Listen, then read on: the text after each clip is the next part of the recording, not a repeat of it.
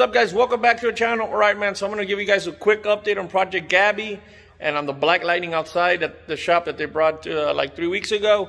So I mean, uh, I'll let you guys know what we done on it. I mean, I haven't even uh, had time to record. I've been busy in work and uh, my brother's been hitting the truck and he's doing some work on it. So it's almost ready to go to the dyno. So I'm going to show you guys what Mando's done to it and uh, just stay tuned. All right guys, so here's Project Gabby. Uh, so I'm going to give you guys little brief update of what's been going on here in the shop with this truck. Uh, it's been here for about four months, and uh, some of the parts that we uh, were expecting to arrive earlier took a little bit longer due to the COVID-19 situation, guys. But here it is. I'm going to go over what's been done to the truck, guys.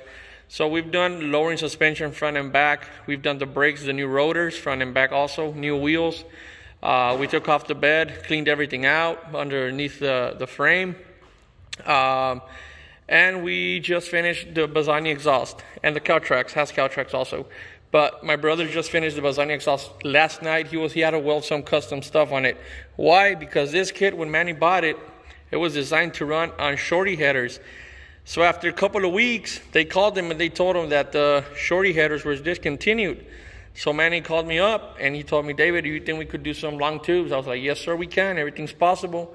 We'll just get my brother Mando to cut and, you know, piece everything together. So that's what he did. And uh, we were waiting on some little parts for the, for the welding machine that welded aluminum or stainless. But once we got those in, Mando went ahead and welded everything else. And it looks pretty nice. We'll be under there in a little bit, guys. I'll show you guys that Bassani exhaust. We'll give you guys a close-up on these tips. They look really nice. Oh man, I love them. She's gonna sound amazing, guys. Something else we've done on this truck, guys, we did interior sound dampening. On this truck, new carpets. The seats are gonna be brand new. Manny bought everything new for it. Uh, because after we're done with this truck, she's gonna go straight to the paint shop. Well, after we're done with this one, she's gonna go to the dyno. Then we're gonna take it and drop it off at the paint shop. And they're gonna lift everything. They're gonna paint the frame. They're gonna do everything on it and paint the whole truck again. So she's gonna turn out really nice. And she has a new cowl hood that's coming in too.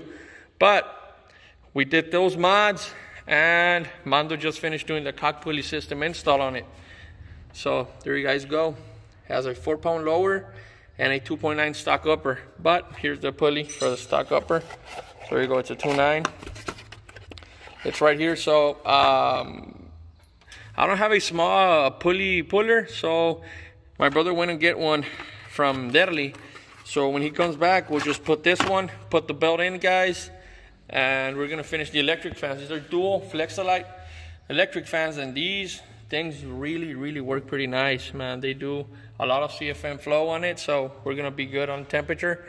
Has a ported blower from Joker's Performance. We took everything out, we cleaned the engine bay, we cleaned the interior, then we send out the supercharger to get uh, ported. I'll post some pictures, guys, so you could see it.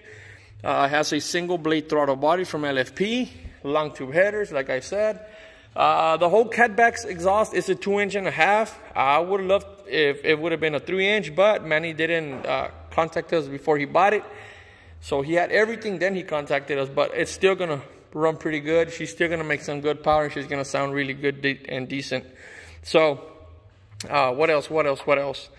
Right, so once we're done with all this, guys, because I'm gonna wire these tomorrow, but once we're done with all this, uh, we're gonna check everything, get her back on uh, online, and then we're gonna hit the dyno on this truck, guys. So she's gonna go straight to Sanoli's Performance Shop there in Mission, Texas, and from there on, she's gonna go to the body shop. She's gonna look really, really nice. So let's go under and see what my brother Mando did. Let's see. All right, guys, so here's the exhaust system. There we go, Bassani.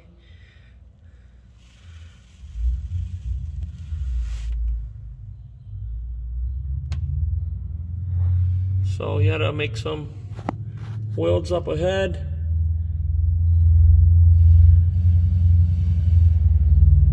And on that side, but I mean it looks really nice. I like it. I like the way the fitment came on this truck. Everything seems fine. You think they're gonna hit, but no, that's the design. That's the way they roll. Bassani. So that's Project Gabby. I'm gonna talk to you guys about the Black Lightning outside. It's another 2000 model, 2001 model. Came in because it was making a weird noise on the engine and it was smoking pretty good. So it would run. Um, every time you turn it on, it would smoke pretty good, like blue. And then after a while, it will go away. But every time you rev it, it would, you know, smoke more. And you can hear that little tika tika tika tika on the engine. So um, the guy wanted to do a full cleanup, EGR delete, and all that good stuff. So, and compression test. And we did the compression test, guys, and it came out to cylinder five and six. We're at 20 psi. I. Mean, that's pretty bad. And there was another one at one 125 so that's pretty low. It should be around 160 like from 150 to 180 you're good. I mean but average you'll be at 170 165 and uh, well we're gonna remove the engine guys. I'm gonna have a lot of videos on that too. We're gonna remove the engine. I don't know if the owners want to go for a built motor or just you know get everything back to stock and i'll show you guys the supercharger how it came out all right guys so here's the supercharger that we painted for the black lightning Everything came pretty nice. Everything's cleaned up. Has a single blade LFP like Project Gabby on that side. And yes, we do have a lot of nitrous. All those are filled up because I got another video coming for you guys. And you guys don't know what's about to happen and what car is going to get a nitrous system. Um, I'm also, guys, I had posted on Instagram like a week ago or two weeks ago um, that if you guys wanted to see some content on this bike, this is my 2012 Yamaha R1. I bought it back in 2012, brand new off the showroom floor. And uh, ever since I've used it for a year, then I parked it. Still has the stock original tires on it. The back one's pretty beat up already.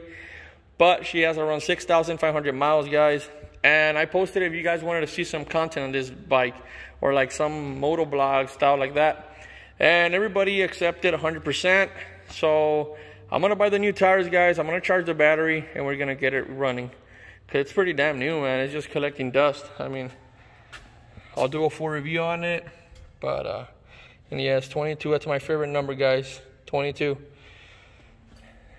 But here it is, guys. All I have for you guys, I mean, next week we're gonna have a good video. We're gonna be working on, on, on this truck, uh, getting it ready for the dyno, or it might be the dyno video, guys. I still don't know, depends. But I'll keep you guys posted, man. I, I, it's a short little video. Sorry, guys. But I try to get you guys updated. So stay tuned, guys. Don't miss out. And we're to have this baby in the dyno. See you in the next one.